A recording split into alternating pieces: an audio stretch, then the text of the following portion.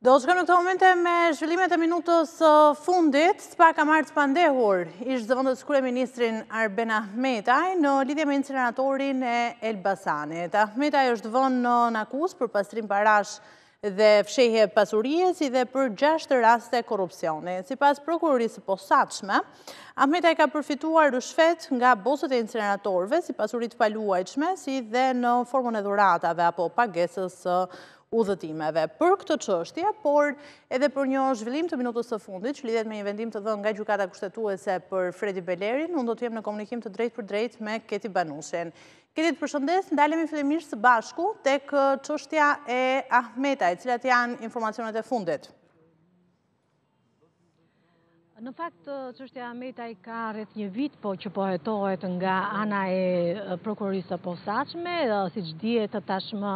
ai ishte person nën hetim për tre vepra penale, është vepra e pastrimit të parave, korrupsionit dhe fshehjes së pasurisë, korrupsioni në gjashtë raste, Por ndërkohë ka qenë deri në këto momente, kishim informacion që ishte vetëm Ahmetaj i proceduar pra si person nën hetim, por ditën e sotme prokuroria e posaçme në përfundim të afatit njëvjeçar pra që është marrë person nën hetim, ka thirrur për t'i komunikuar akuzën dhe personave të tjerë, mes të cilëve ka janë thirrur Edhe avokatët e Klodian Zotos dhe Mirel Mërtiri, siç dihet janë dy, janë dhe dy personat të cilët kanë përfituar nga inceneratorët, kanë qenë administratorë të, njëri administrator i inceneratorëve dhe tjetri si indirekt si pronar i tyre të paktën në, në procedimet e tjera që ka, që ka bërë prokuroria e posaçme, që e ka cilësuar, ndërkohë që Po ditën e sotme ishte thirrë dhe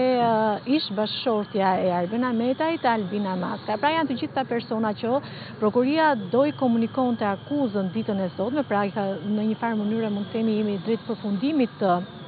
hetimeve në lidhje me këtë çështje, pra dhe komunikimi i akuzës së dytë për Arben Ahmetaj, pas asaj të të Bukës, pra të të dosjes Buka ku ai Vërtet u mori i pandehur, çështja shkoi për gjykim në gjykatën e posaçme, por pastaj u pezullua për shkak se Ahmetaj nuk gjendet, pra është në mungesë dhe për një vit, siç ndodh për personat që janë në kërkim, çështja pezullohet. Ndërkohë që nuk kemi mësuar, të paktën nga informacionet që kemi, nuk janë vetëm këto persona të cilët do të komunikohet akuza për këtë çështje, por mund të kemi dhe persona të tjerë, pra dhe po Prokuroria e Posaçme për arsye objektive, siç tha dhe avokati mbrojtës i njërit prej të cilëve do t'i komunikohej akuza re ditën e sotme Klodian Zotos, e ka shtyrë për në datën 26. Pra, nuk kemi vetëm zotin Ahmetaj në këtë procedim, pra është për procedimi 277 fraksion 1, ku e cili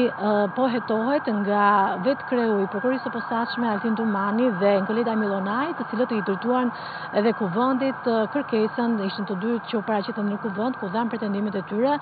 kur kërkuan dhe heqjen e imunitetit të zotit Ahmetaj. Pra, është një çështje, është një nga dosjet e nxehta mund të themi, të cilat e cila po jep fund të paktën hetimit prokuroria e posaçme. E qartë. Unë e preka në fakt që ne do të diskutojmë edhe për një zhvillim të minutës së fundit, që po e ndjekim në këto momente edhe përmes fleshit Informativ, Gjykata Kushtetuese ka marrë një vendim për kërkesat e depozituara nga Fredi Beleri, për çfarë bëhet fjalë, çfarë u vendos sot? Në fakt, Fredi Beleri kishte paraqitur në gjykatën kushtetuese si në gjitha gjykatat e tjera kërkesa të cilat sipas tij kishin të bënin